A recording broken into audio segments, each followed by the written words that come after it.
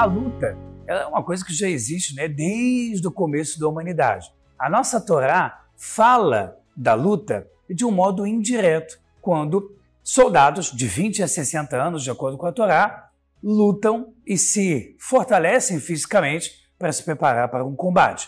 O Rav Kuk, já, que já existe há quase 100 anos no mundo, um grande rabino, que foi o primeiro rabino-chefe de Israel em 48, ele fala que parte do arrependimento de coração de uma pessoa que está se voltando para o caminho judaico é através do esporte.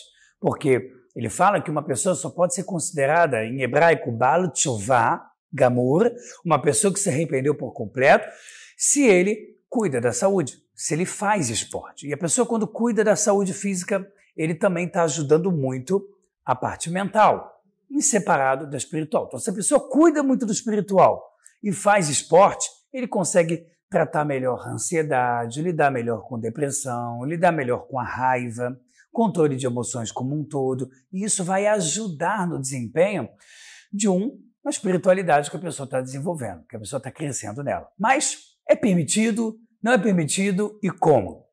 Bom, está claro, né, pelo que a gente está falando até aqui, que é permitido a pessoa fazer um esporte, né, uma luta, uma arte marcial.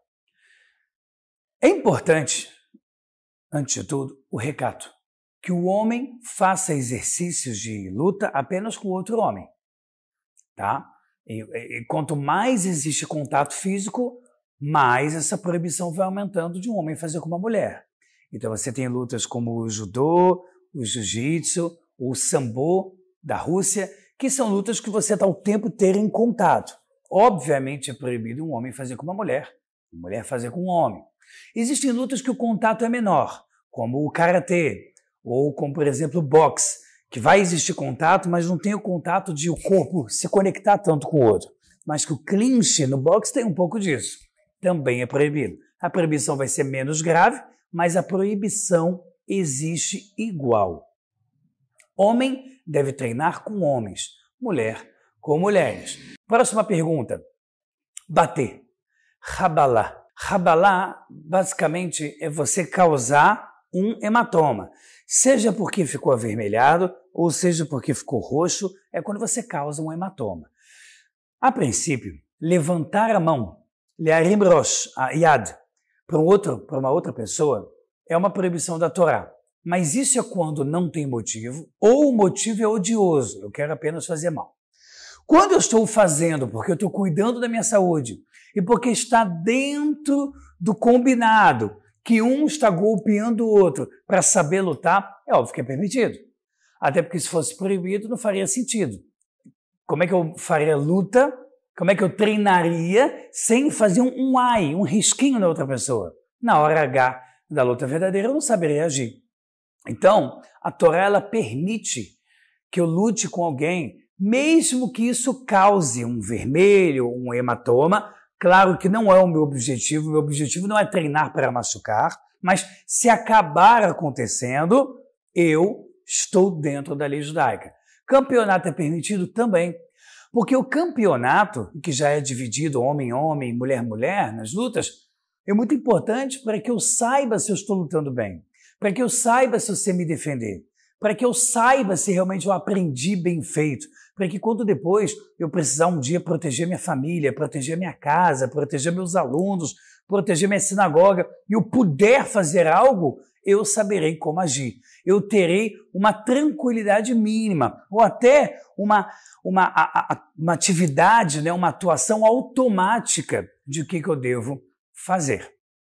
Então, em todos esses casos, é permitido fazer uma luta marcial. Os principais pontos que a gente tem que tomar cuidado é homem não treinar com mulher, nem a mulher treinar com homem. Tudo bem se está na mesma academia, se está na mesma aula, mas um homem só luta com homem, a mulher só luta com mulher. É muito importante você falar isso na sua academia, caso você faça arte marcial. É, é, é, é todo lugar vai compreender, dificilmente alguém vai dizer que é absurdo, não aceito. Tá? E se disser isso, você sai do local, tá? se você não é respeitado nisso, tá? deixa o lugar e vai para outra outra academia, mas é muito importante. Na hora de você fazer arte marcial, a maior parte das academias tem o costume de se curvar para o sensei no quadro Isso é totalmente proibido. A gente não pode se curvar para quadro nenhum, né? É, é, é, reverenciar uma pessoa que já morreu, reverenciar uma imagem, de jeito nenhum, nenhum. Agora, eu posso me curvar para o outro lutador, eu posso me curvar para o professor na hora de entrar no tatame ou na hora de começar um treinamento ou uma luta? Claro que sim. Isso basicamente é: oi, tudo bem? Eu quero dizer que eu respeito você. É só isso. Inclusive, Yaakov, Jacó fez isso sete vezes e muito pior. Ele curvou com a cabeça até o chão para o seu irmão sete vezes, mesmo o irmão sendo idólatra perverso. Que dirá numa academia que você só está querendo dizer oi. Não tem o menor problema. Tem gente que leva o que é o pé da letra para o extremo e aí nem sequer está fazendo certo o que a Torá está lhe pedindo. Se você está fazendo arte marcial, aproveite todo dia antes do exercício. A mesma coisa se você faz academia, se você corre, se você anda de bicicleta, não importa.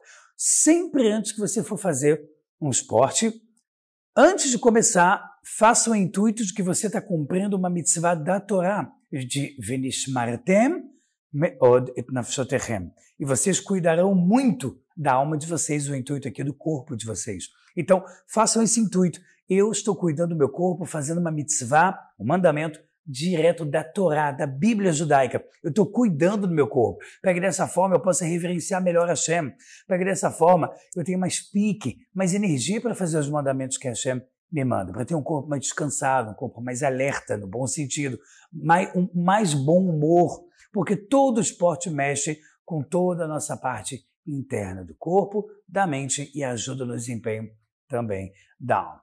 Vai torar tudo de bom e até a próxima!